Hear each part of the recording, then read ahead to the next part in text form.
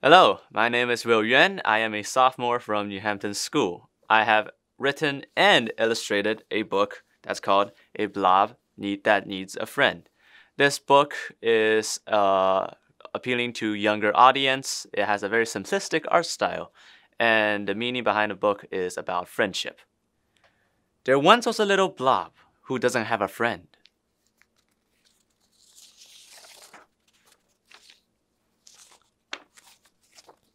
He searched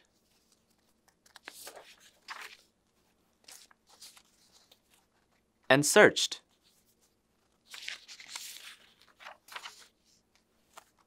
Over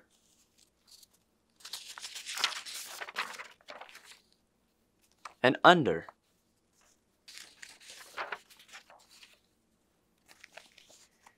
He was tired after a long day of searching, so he passed out on a big rock. The next day, he searched in some different places. He searched in the redness of this world.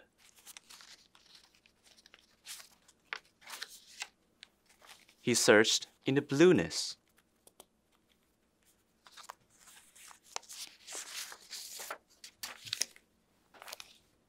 And even the greenness.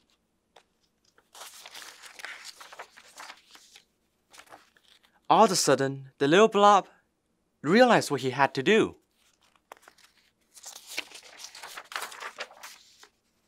And he split himself in two.